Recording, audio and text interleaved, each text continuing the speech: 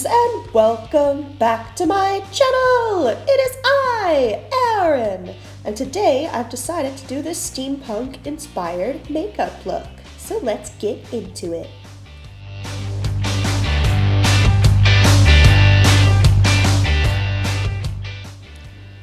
Hey guys, so my inspiration are these little charms from an arts and crafts store, and to start I'm going to go ahead and trace out the outline of my gas mask.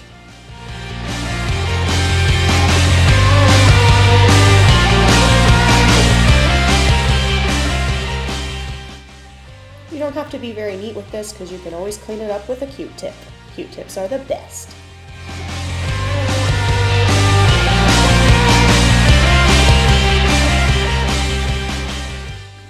We're going in with a high coverage foundation on the top of my face and also underneath of the mask.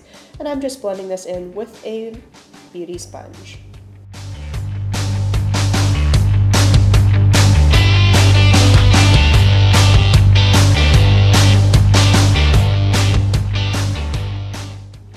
To set this in place, I'm going to use a white powder, and I'm just pressing that into the skin with a beauty sponge, and then I'm going to brush off the excess with a fluffy powder brush.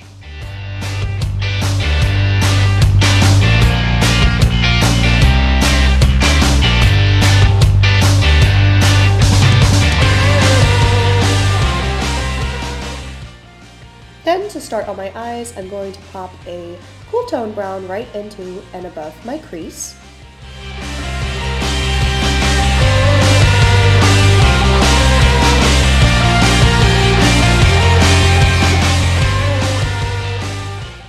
Also running it under my lower lash line.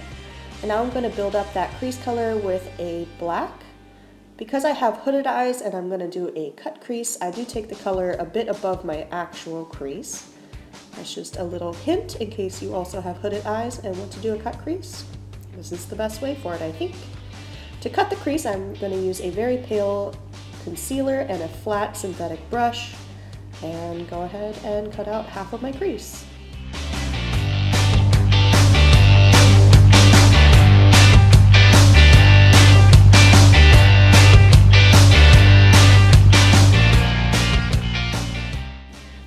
Once the concealer is laid down, I'm just blending out that outer edge with some black. And now I'm going to pop on some shimmer shades and keep them in a very metallic, bronzy sort of color scheme. I feel like that works best with a steampunk inspired look. Inspired. And I'm using both my fingers and a flat smudger brush. Now I'm going to work on my eyebrows. And for them, I want to keep it a little bit more mask-like, so they're not going to be realistic at all. And I'm sketching them out with the NYX Retractable eyeliner in black and filling them in with the NYX SFX paint in black as well. And then I will also set them with some black eyeshadow.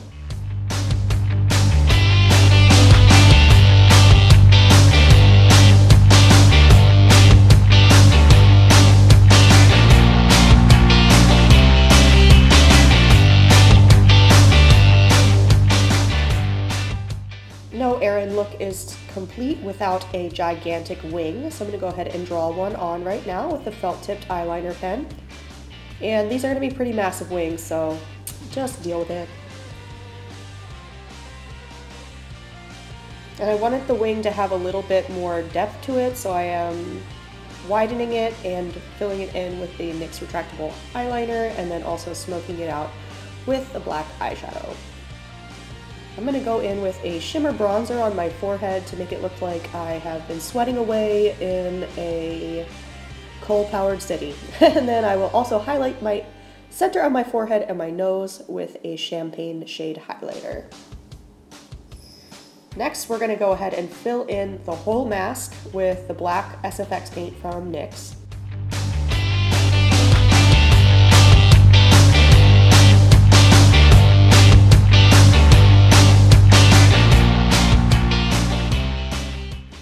Did use a large brush to fill in most of the inner parts and then I am going back in with a small synthetic flat brush to get all the details that I need at the edges.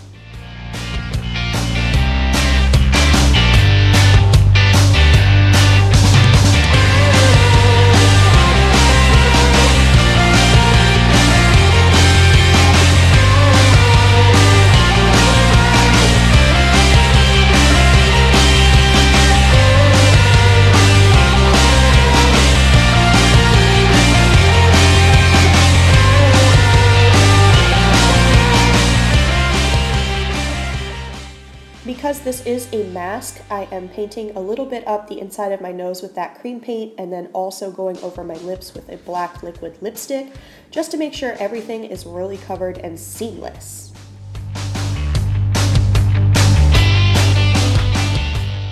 Now I am setting everything that I did with the cream paint with a black eyeshadow.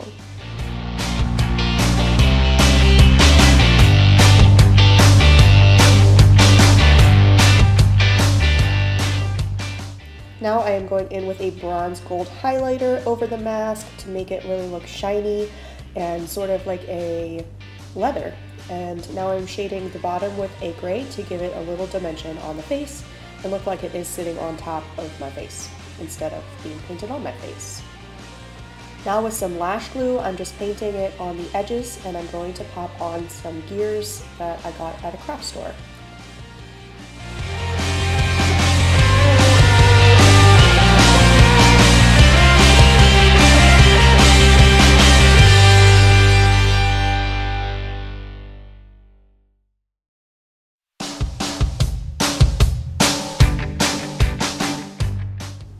Also doing the same thing on the inner edges of my eyebrows.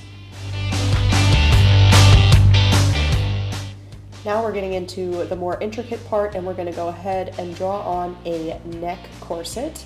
And for this I'm outlining it with my NYX retractable eyeliner pencil.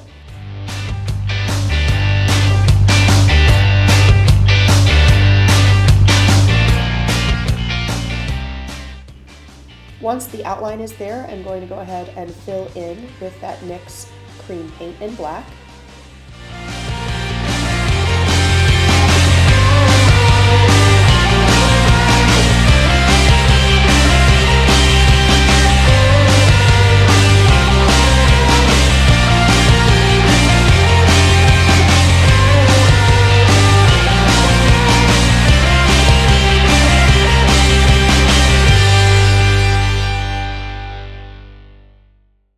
I am using a small brush to make sure that I'm leaving the holes there for the strings to go through. I will highlight them later as well, but just to make it easier, I'm not putting any black product down in those areas. With a small angled brush, I'm using a white liquid lipstick and adding the details for the laces for the neck corset.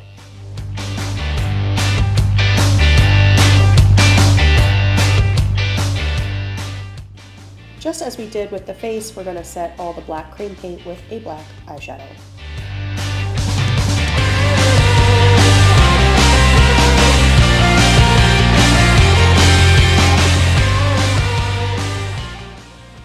Now with a tiny synthetic detail brush, I am going in and defining the corset eyelets and laces even more. This is again with a white liquid lipstick. You could also use a white eyeliner. And then to really pop, I'm putting a liquid black liner over top as well. And with that, I decided to go ahead and get into my simple costume. I'm using a lace flower and I turned those charms from the beginning into earrings.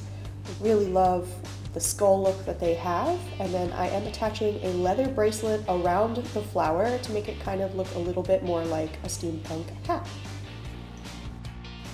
I feel like this submission could not be complete without actual false lashes, so I chopped up a few very voluminous lashes and I popped most of them on the top and then you will also see that I have popped some on the bottom as well in the outer corner just to create a really crazy cat eye experience. Now steampunk people are always living in coal powered cities so I added some more smudges all over my face to look like soot and there you go, let's pose. Thank you guys so much for watching this video. If you enjoyed it, please give it a thumbs up and subscribe to my channel, and I'll see you guys in my next video. Bye!